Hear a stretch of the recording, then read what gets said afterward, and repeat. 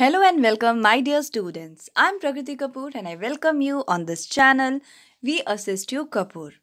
तो हम यहाँ पर कवर कर रहे हैं new learning to communicate class six के सभी चैप्टर्स जिसमें हम ऑलरेडी सेवन चैप्टर्स कवर कर चुके हैं अगर आपने वो वीडियोस नहीं देखे तो आप मेरी इस particular channel we assist you Kapoor की क्लास सिक्स की प्लेलिस्ट पे जा सकते हैं और सभी चैप्टर्स को विज़िट कर सकते हैं तो आज हम बात करने वाले हैं चैप्टर सेवन के साथ ही जो कनेक्टेड एक पोएम है, उसके बारे में, जिसका नाम है लॉरेंजो लिट्स नॉन साइंटिस्ट। तो चलिए शुरू करते हैं। पढ़ते हैं और समझते हैं क्या लिखा हुआ है इस पोएम में। Have you met a person with with a fertile imagination क्या आप कभी ऐसे व्यक्ति से मिले हैं जिसकी इमेजिनेशन बहुत फर्टाइल है? फर्टाइल यानी कि बहुत उपजाऊ, बहुत ज़्यादा, बहुत अच्छी है इमेजिनेशन जो बहुत अच्छी अच्छी चीज़ें सोच सकता है। That is a person whose mind produces a lot of new ideas यानी कि एक ऐसा व्यक्ति जिसका दिमाग बहुत सारे आइडियाज़ बहुत सारे नए नए चीज़ों को सोचता रहता है और प्रोड्यूस करता रहता है। मैनी ऑफ़ विच में अपियर स्ट्रेंज रेडिकुलस और अनबिलीवेबल जिसमें से उसके बहुत सारे आइडियाज़ स्ट्रेंज होते हैं, स्ट्रेंज यानी कि अजीब होते हैं। रेडिकुलस मतलब थोड़ा सा लाफिंग रिलेटेड कि से कह सकते हैं आपको हंसाने वाले, है ना? और अनबिलेबल बिलीवेबल मतलब होता है कि जिस पर आपको भरोसा ही ना हो। लॉरेंजो लेट्स नॉन साइंटिस्ट तो यहाँ पर एक व्यक्ति का नाम है लॉरेंजो लेड्स। इन्हें हम कह रहे हैं नॉन साइंटिस्ट क्यों? क्योंकि असल में ये साइंटिस्ट है नहीं। लेकिन इनकी जो खोज है बड़ी अजीब है। तो हम उसको पढ़ते हैं और देखते हैं कि क्या करते हैं हमारे Lorenzo Leeds. Researches things that doesn't exist अब ये जो लॉरेंजो लेड्स हैं, ये कैसे साइंटिस्ट हैं? बेसिकली कहा जाए तो ये साइंटिस्ट ही नहीं है, लेकिन ये खोज करने का शौक रखते हैं।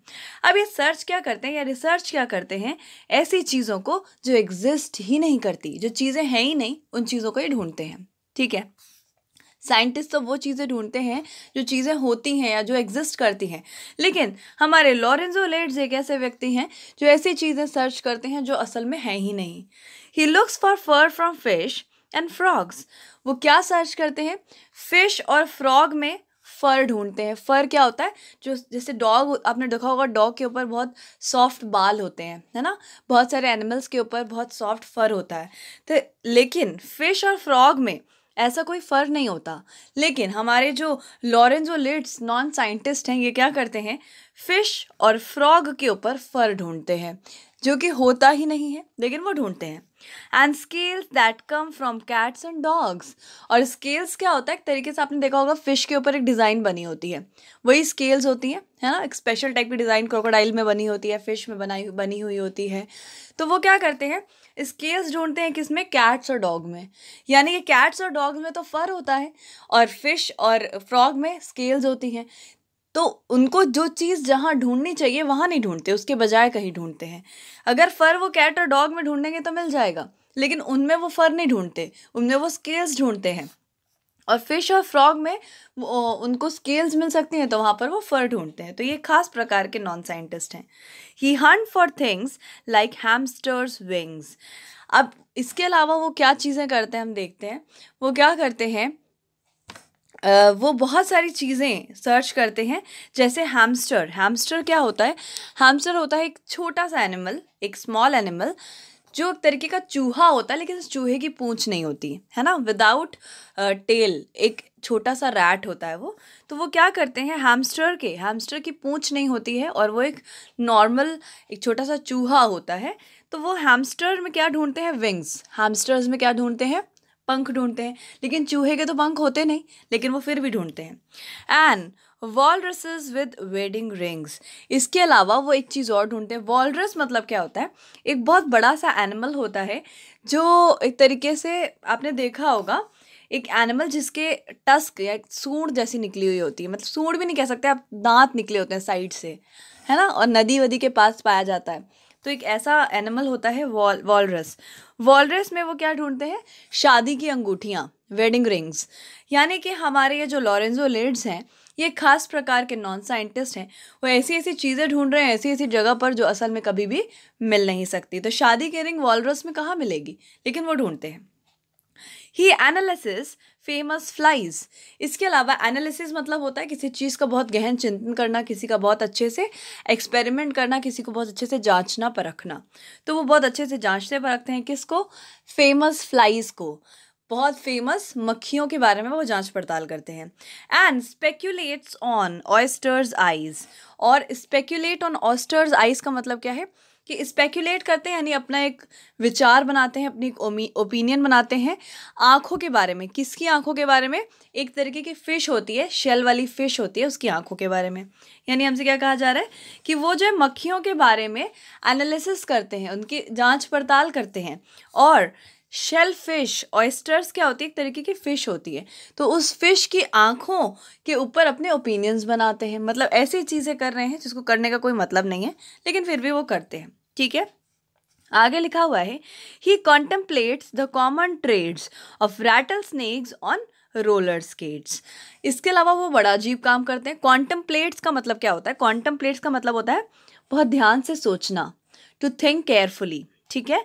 तो बहुत ध्यान से सोचते हैं कि क्या चीज़ें कॉमन हैं। ट्रेड्स मतलब होता है, एक तरीके से आप कह सकते हो कि क्वालिटीज़ कौन कौन सी कॉमन क्वालिटीज़ हैं? रैटल स्नेक और रोलर स्केट्स में। रोलर स्केट्स क्या होता है? स्केटिंग करते हैं ना लोग, पहन लेते हैं शूज़ होता है जिसमें टायर्स पहिए वगैरह लगे होते हैं छोटे छोटे और आप स्केटिंग कर सकते हो।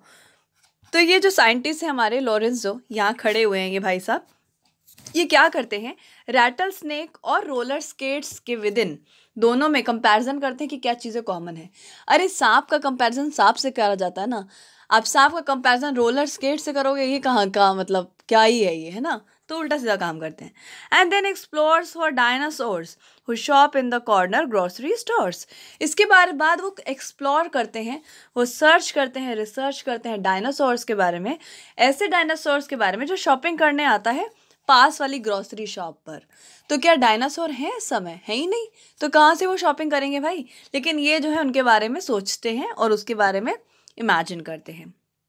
आगे लिखा हुआ है he thinks about the desert trout इसके बाद वो क्या करते हैं? वो ही थिंक्स अबाउट वो सोचते हैं डेजर्ट ट्राउट ट्राउट के बारे में ट्राउट मतलब होता है एक तरीके की फ़िश ट्राउट क्या होता है? एक तरीके की पर्टिकुलर फ़िश तो वो एक डेजर्ट ट्राउट एक फ़िश के बारे में सोचते हैं और ये सोचते हैं he studies under water drought और इसके बाद वो सोचते हैं कि अगर पानी के अंदर सूखा पड़ जाए तो कैसा होगा? अरे, आप खुद ही सोचो। पानी के अंदर तो वैसे ही पानी है तो वहाँ सूखा कैसे पड़ सकता है? वो ये सोचते हैं कि डेजर्ट में अगर फ़िश रहे तो कैसा होगा? और ये सोचते हैं पानी के अंदर अगर सूखा पड़ जाए तो कैसा रहेगा? ऐसी ऐसी चीज़ें सोचते हैं। He ponders how the purple cow remain unnoticed up till now फिर वो सोचते हैं कि किस तरीके से। पॉन्डर्स का मतलब होता है किसी चीज़ को बहुत केयरफुली सोचना। वो सोचते हैं कि पर्पल काउज यानी पर्पल कलर की जो गाय होती हैं, वो अब तक अननोटिस क्यों है? मतलब लोग उसे जानते क्यों नहीं? पर्पल काउज वो किसको कह रहे हैं? भगवान ही जाने, क्योंकि वो जो है अपने इमेजिनेशन में रहते हैं, ठीक है? He scan the skies for flying flying pies scan करना मतलब क्या होता है? बहुत ढंग से देखना, बहुत ढंग से नोटिस करना। तो बहुत ढंग से नोटिस करते हैं आसमान को, और वहाँ वो क्या ढूंढते हैं? फ्लाइंग पाइज पाइस क्या होता है? पाइस होता है कोई रोस्टेड चीज़ जैसे कि समोसा हो सकता है, पकौड़ी हो सकती है, या कोई खाने की ही चीज़ होती है तो वो वहाँ पर उड़ती हुई खाने की चीज़ ढूंढते हैं। कहाँ पे? आसमान में। मिल सकती है क्या? कभी नहीं मिल सकती, लेकिन वो ढूंढते हैं। And test for turtles wearing ties और इसके बाद वो टेस्ट करते हैं कि क्या टर्टल जो है टर्टल यानी कि कछुए, क्या कछुए टाई पहन सकते हैं? इस बारे में एक्सपेरिमेंट करते हैं। And bears who buzz and beeps because और वो देखते हैं कि जो बियर्स होते हैं, जो भालू होते हैं, वो बज कैसे करते हैं या वो बीप आवाज़ कैसे निकालते हैं, ये सब चीज़ों के ऊपर एक्सपेरिमेंट करते हैं। Well this is what Lorenzo does पर अब क्या कर सकते हैं? लॉरेंजो जो हैं, वो ऐसे ही काम करते हैं। Although we feel that he should deal with something that's a bit more real although हालाँकि हमको लगता है कि उनको डील करना चाहिए। लॉरेंजो जो नॉन साइंटिस्ट हैं, इनको डील करना चाहिए ऐसी चीज़ों के बारे में जो रियल हों, जो सच हों। Lorenzo lets just can't resist लेकिन लॉरेंजो लेट्स जो व्यक्ति हैं, वो अपने आप को रोक नहीं पाते। Researching things that doesn't exist और वो उन्हीं चीज़ों को ढूंढते हैं जो एग्जिस्ट नहीं करती। तो लॉरेंजो साइंटिस्ट यहाँ पर एक बहुत अजीब साइंटिस्ट हैं। ये क्या करते हैं? ये ऐसी चीज़ें ढूंढते रहते हैं जो रियल में कभी भी एग्जिस्ट नहीं करती और ये बहुत बेवकूफ़ी भरा काम करते हैं। तो ये जो पोएम थी, ये लिखी थी केन नेस्बेट ने और ये कहीं ना कहीं ह्यूमर क्रिएट करने के लिए, हमें हंसाने के लिए लिखी गई है। आई होप कि आपको ये पोएम बहुत अच्छे से समझ में आ गई हो। तो ये वीडियो अगर आपको हेल्पफुल लगा तो इस channel we assist you Kapoor YouTube पर इस चैनल को सर्च करके सब्सक्राइब कर लीजिए। ऐसा सब्सक्राइब का बटन होता है, सब्सक्राइब करने से आपको आने वाले वीडियोस के नोटिफिकेशन मिलेंगे और बेल आइकन को भी प्रेस कर लीजिए। ज़्यादा से ज़्यादा दोस्तों के साथ शेयर करिए, सोशल वर्क करिए और वीडियो अच्छा लगे तो लाइक करके बताइए और कमेंट करके बताइए कि आपका वीडियो अच्छा लगा, कितना हेल्पफुल रहा। Thank you so much and God bless you.